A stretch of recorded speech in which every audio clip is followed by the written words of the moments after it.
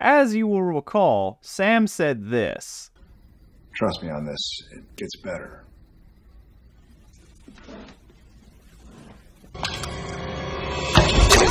Poor, poor Kevin Tran. Ooh, that's a hot mug, guy. Hey guys, this is my review for episode 7 of Supernatural Season 8 A Little Slice of Kevin. This is the episode where we find out a little bit more about the overall aspect of the Demon Tablet and that there are others. We also get the return of Castiel, and we get a little bit of intrigue into what's going to happen with the latter half of the season. Oh, and they just casually drop that Chuck is dead. Dead. This episode has a few things going for it, it also has a few things going against it. The beginning half is kind of dull, to be honest. There is this slight intrigue of Castiel kind of appearing and then disappearing, but it all turns out to eventually be him just appearing halfway through the episode. So these ghost manifestations were kind of just filler. Like he says that, oh, I'm kind of been like lost and whatnot. I was like, eh, okay, I, I kind of get it, but it's like a little weird. And then also Kevin Tran's mom, like I like her in some episodes. I don't like her at the beginning of this one. The whole thing with the witch thing is just so dumb, but it does give off that demon bomb thing that Sam uses later, but it, it, just seems such an inconsequential action just for the story to progress. The first half of this episode, I'll say, is kind of crap. We also do get the conclusion of Dean's story in Purgatory and where he believes he kind of accidentally left Castiel behind because he couldn't hold on to his arm long enough, aside from Castiel actually just like being, no, I belong here. Now, I understand that there are times where you will second guess, you will constantly overthink a situation, its conclusion, and wonder what you did and if you did the right action. And I kind of see that Carver was trying to do that with this. I feel like it's drama for drama's sake. Like, not to say that Supernatural wasn't guilty of doing that before this, and they definitely certainly aren't going to shy away from doing it after this. But I just thought that was a little there for the sake of being there. Like, I feel that the monsters and everything they had to do uh, in Purgatory were already enough trauma. But, you know, it's the Winchesters. They can't get enough trauma. But we've got to sideline that because it's Kevin who's getting all the trauma. He gets kidnapped by Crowley. He sees other prophets get ripped apart. He gets his own finger chopped off. And we get a little bit of prelude in terms of closing the gates of hell and the idea that there are other tablets for some reason. Also, Metatron's name is dropped. Forgot he was dropped this early. But then he's going to appear later on in the season, so there's a cool little drop there. Again, a little bit of the sprinkles. Carver is definitely taking a much more basic storyline in comparison to what has been done in the last two seasons, but it's consistent. It's progressing. It's not also all being done in three episodes. And I do find it kind of funny how they just casually drop that, oh yeah, Chuck, I guess he's dead. Carver maybe having that idea very early on of what he was going to do, maybe just be like, you know what, I can use this later on in terms of how long this show goes. Because I got to remind you guys, as I've done before, they didn't know if the show was going to keep going. They always had the idea that the season they were working on was the last one, especially with how this one ends. Like, the numbers after season 7 were dismal, so they probably thought 8 was going to be the end of it. They're able to save Kevin. Castiel is suddenly taken up by Naomi, who is played by Amanda Tapping. This is her first appearance, and she doesn't get a conclusion, unfortunately, in the show's grandiose arc. She's starting to lay down the path of Castiel being the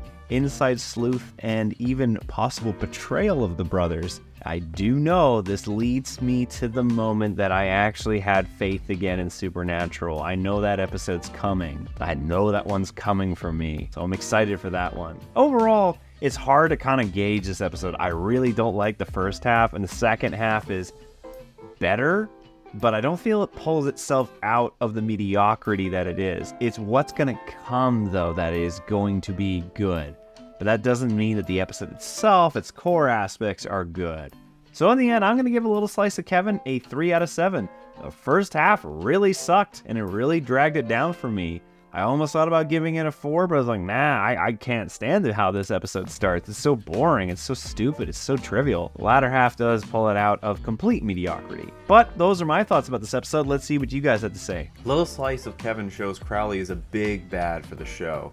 I love the concept that there is a prophet for every generation replaced if Kevin dies. Kevin's mom hiring a backstabbing witch is hilariously accurate. I, I, I know, but it just felt so stupid when in the part. Plus, Castiel returning is a great plus. I love that his growth, wanting to do penance for everything that happened in season seven. Him being on a leash from heaven also adds an interesting dimensions to the show. Really looking forward to expressing my thoughts in the next episode where the boys and Cass fight an insect rabbit hybrid. But for now, that's all, folks. I like this episode because it was pushing the story forward. I was happy to finally see Castiel back. The part of the episode I had a hard time believing was Linda would be able to get a demon into the trunk of her car by herself. It's kind of back and forth on on Miss Tran. I liked her a little bit in some parts, and then some parts of this episode I absolutely despise her. to quote a famous Star Wars character, this is where the fun begins. Watching Crowley torture is always enjoyable. It just reminds me of how fantastic Crowley was from from earlier seasons. Although poor Alfie, yeah, he, he definitely does get gets the uh, the shitty end of the screw.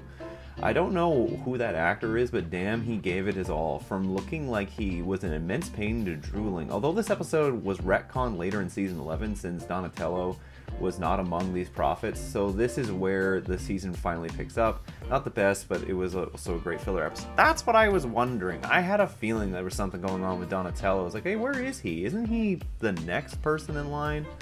But like we said, poor poor Kevin Tran never gets a break throughout this entire season, or this entire show, truly speaking. What's not to like about this episode? Ah, I had a few.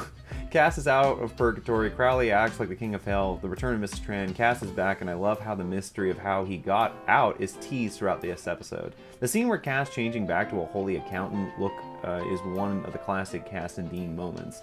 Crowley is in big bad mode, and it's great to watch him be an adversary for Sam and Dean and Cass. Love the face-off between him and Cass. And then there's Miss Tran. I love her brand of non-trained hunter skills. I mean, she means so well and does it so wrong by hiring a witch. That's a good way to put it as well, in a, in a more positive spin than me. Lastly, gotta love Naomi's debut, played by the amazing Amanda Tapping. Just like Crowley, I prefer this version of Naomi where she just stood in opposition to the boys. But then remember, she just disappears in the show ended. I was really curious what they were going to do with that whole heaven is shutting down business, but then they just never finished that storyline. It was an interesting detail that Dean misremembered the flashback in purgatory and tied it to his own survivor's guilt. I don't know. I felt like that was like a, a kind of a lazy cop out. This is the only time where his memory of an event was shown to be inaccurate and false to what actually happened. And I think that says a lot about Dean where his head is at. Yeah, I, like I said, I just. I felt it was just kind of a MacGuffin. It just felt like it was there for the sake of dragging out the Purgatory, getting out of Purgatory plotline. And I, I feel like there could have been a better explanation than just, yeah, I just didn't remember it correctly. I think you'll enjoy this episode. is one where Crowley was allowed to shine. I will agree on that. This is there is no more purgatory flashbacks after this. I kind of like the storyline element. I thought it was okay. I would have liked to have seen more of it, truly speaking. Um, but I think you got enough of what you wanted. And the Leviathan thing at the end, like, I guess it's there, but then again, like, how does Cass get away? Like, it just didn't make any like there's a lot that still could have happened i feel but the reason why dean is in his guilt is just to drag out the drama i feel it's not really justified if they had just added something like his brain got scrambled going through the portal and having um, Uh, having Benny in his arm, I feel like that would have been a better justification. But because nothing is ever said, that's what kind of nicks me about that whole just not remembering what happened. Crowley was truly in his element here. I missed how good his character was before Dabb ruined him, just like Dean. I knew instantly that something was up with when Castiel was out of Purgatory, even though Castiel wasn't at full strength. He managed to hold his own against Crowley. I love their standoff. He totally played Crowley. I wasn't surprised Castiel refused to leave Purgatory because of the horrible things he did on Heaven and Earth, and he gets uh, sets Dean straight. He's right. He can't save everyone, but as usual, Dean always blames himself. I did like that aspect. I felt like Cra- that Castiel wanting to stay was justified. Also, in terms of all these comments about Crowley, very thankful that Mark Sheppard survived his absolute insane round of heart attacks. Very glad that the man is all right. All right, guys, thank you for that. We got episode eight. Hero, I can't say that, but give me your guys' thoughts about that episode in the comments, and I'll read those off in the next review. Until then, guys, I hope you enjoyed this video. If you did, leave a like, and if you're interested in more, subscribe. Until then, we'll see you for number eight.